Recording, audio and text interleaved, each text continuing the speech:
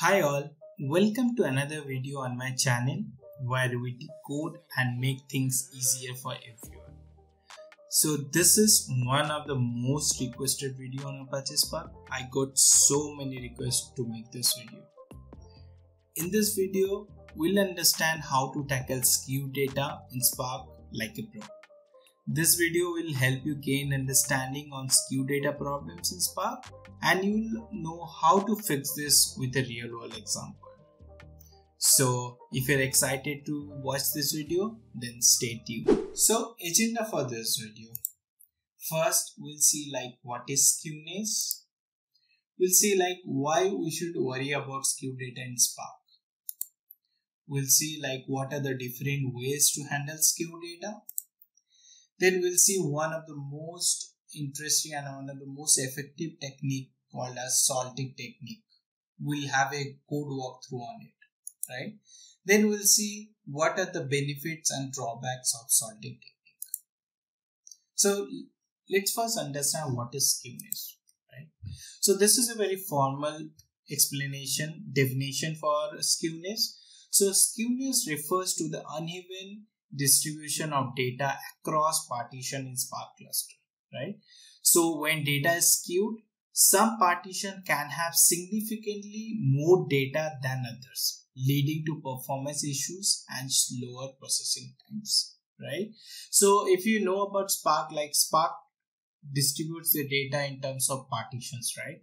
So sometimes if there are a skew, some partition can have more data than others. So that is what called as skewness. So this is one of the example that you can see. So if you see that uh, we have like number of rows of data on the y-axis and these are like some of the uh, you can see some of the columns you have right? Uh, some of the partitions so if you see this is even distribution. So you have even distribution across partitions.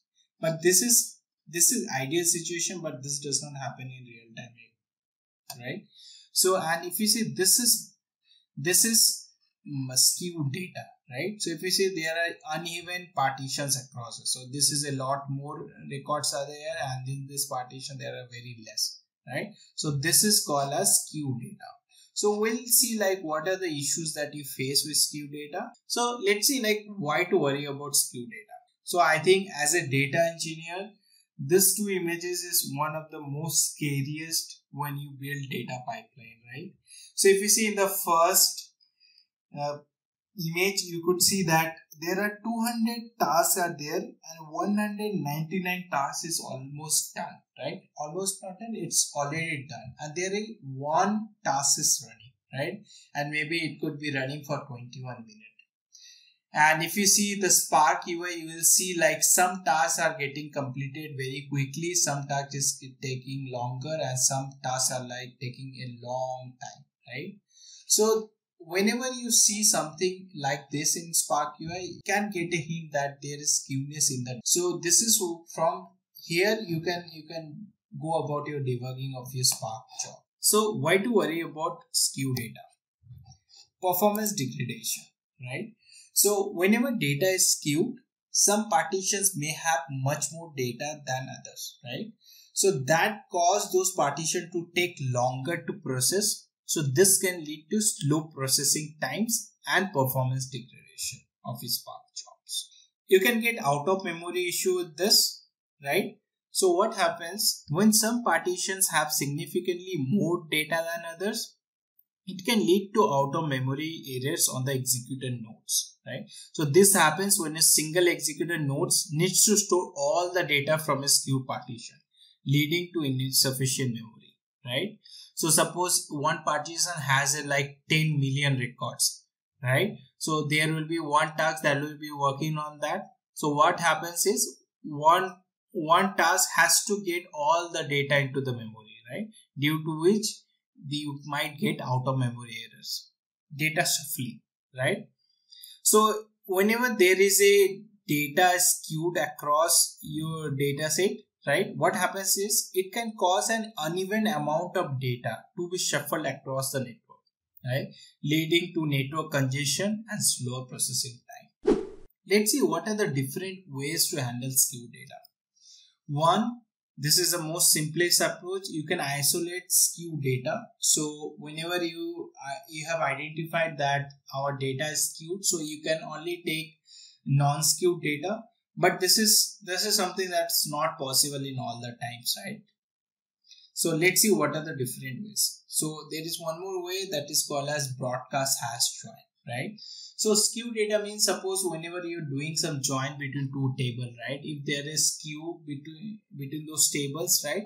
Your join might take a lot of time. To fix this what you can do is like you can broadcast one one of the table right? What it does it it just copies your data to all the executors. So they, even there there is a skew there won't be any shuffling around right? So this can fix your skew data issue.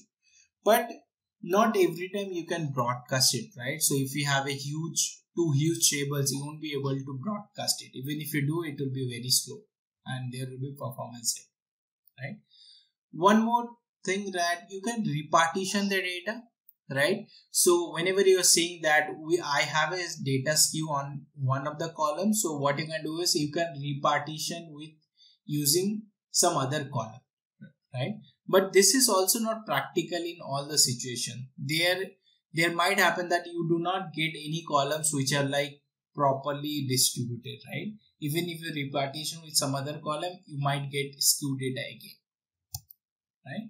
Then there comes a salting technique. So we'll be discussing in detail about the salting technique which is very helpful to handle skewed data. So let's get started with salting technique so salting technique is a way to handle skew data by adding a random prefix to the key for each record. So what it does is this spreads the skew data across multiple partition, reducing the load on any one partition, right? So the random prefix is called a salt and it is added to the key using a hashing function. So the general idea of salting technique is to distribute your keys, right? So if you do not have a even distribution on the keys, basically what you do is you add some salt to the keys. What it does it, it tries to distribute your data, right? Even if it is not able to do uh, like evenly, it will try to spread spread in a way that you get more parallelism. So uh, generally this is where we are creating a skew data. So we are creating two data frame. If you see that we are creating a highly skewed data frame with 100 million rows where 99% of the rows have the same key value right so if you see 99% are like same value and only 1% of value is having different so it's a very highly skewed right so that we are doing and we are creating one more data frame with two column right? And this is just a, a testing sample that we are creating to just to show like how it works right? So see we have just created this two data frame. This is the df skew data frame which has some id and some keys. And most of the keys are one. There will be very few like one, only one percent uh, of the values which will be zero right? And this is id is nothing but this is just a incremented value. This is just a test data. And we have one more table of key size of 0 which is small 1 that is large. So what we'll be doing is we'll be joining this two data frame. And we'll see like how this skew data affects the performance right? Now let's first see like how to identify data skew right? This is very simple. So suppose here suppose here basically if you see that key on the basis of key we can join this two table right? So one will be matching as large and zero will be small right? So what you do is like you just group the data by key and you do a count. So if we see that uh, as i talk about like 99 percent will be like one. So this is like 99 million records are one and only close to 1 million is zero. So this is highly skewed. So let's see let's try to join this two data frame with key and select the id and size. So id is coming from left side table size is coming from right side table right? So let's see how much time it is taking. So i previously i have already ran this. So this took around 20.63 seconds right?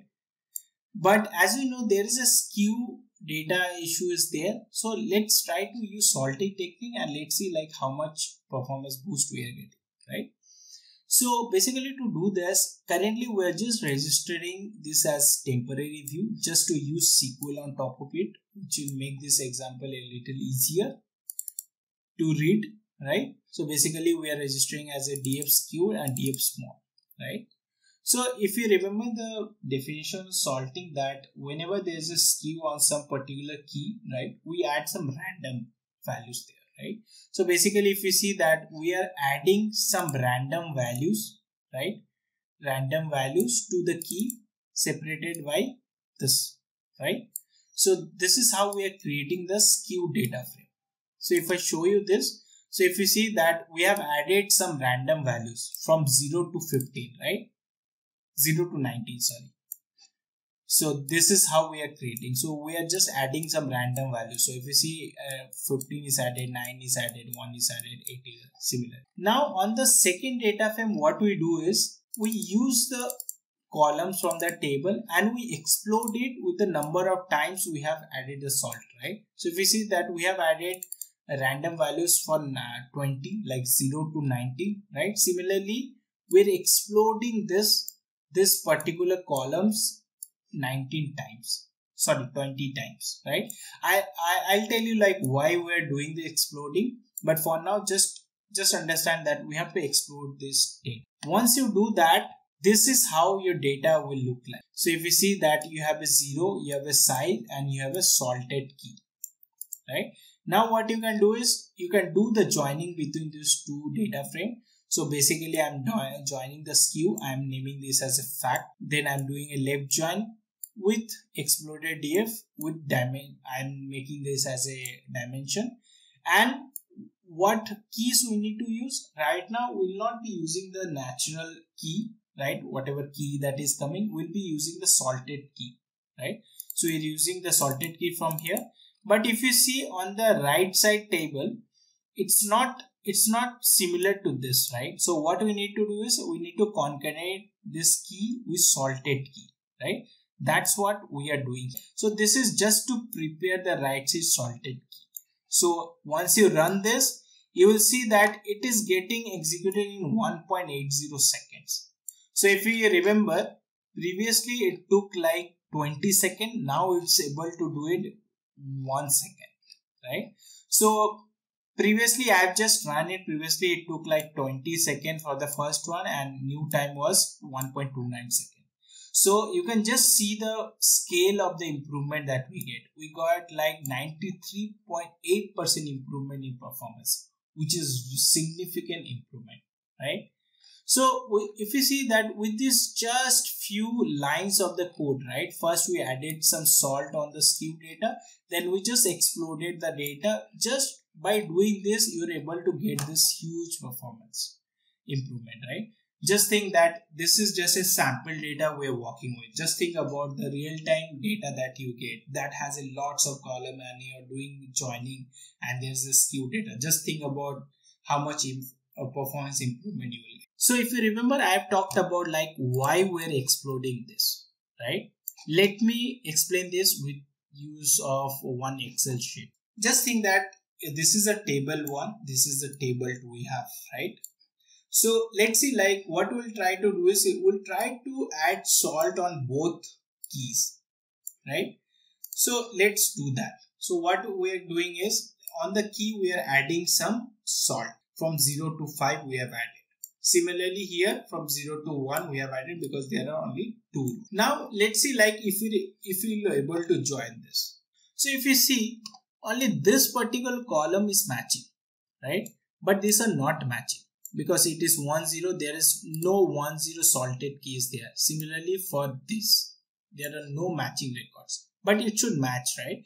But why this did not match? Because we have added salted key we have added some salt on the right side also but which will not match with this table one right?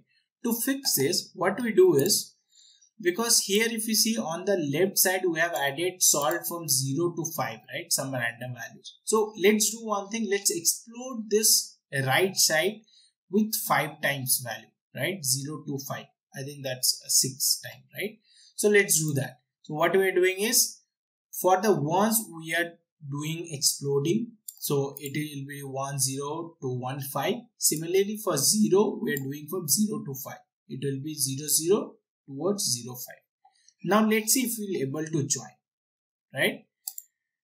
Then if you see that we're able to join all the ones and all the z zeros are also able to join right? But in the process if you see these are all the extra rows that we have created which is which was not required before. But this is one of the uh, disadvantages of salt key uh, sorry of using salting technique that it increases your data size. But if you if you see at the end of the day you are getting a a huge performance uh, benefit right? So uh, what i feel is spark doesn't uh, doesn't have issue with uh, processing a lots of data but it faces issue whenever there is a lot of shuffling happens there's a lot of skew data. So i feel like uh, duplicating the data is fine at this step because we, we are doing a lot of uh, performance improvement right? So with this let's see the benefits and drawbacks of salting technique. So one of the benefits is like it's very simple and easy to implement. As you've seen like just like adding two statements we are able to do the salting. And this can effectively handle skew data and improve performance. So this can be combined with other techniques such as partitioning or bucketing for even better performance right so there are some drawbacks as well so this can add overhead to the application due to the additional processing required to add the salt. As you have seen that we are adding some extra rows to fix this issue, but that also adds a overhead on the Spark processing? This can also increase the storage requirements of the data set. So if you see that, uh, if I've seen in the Excel sheet that I've shared, there we are we have just increased the number of rows right? Which also increases the storage requirements. So with this i'm done with this video. So i hope that you have liked this video. So if you like the video give it a like and share the video with your friends and let me know which topics in spark you would like me to cover in future. And subscribe to my channel for more helpful content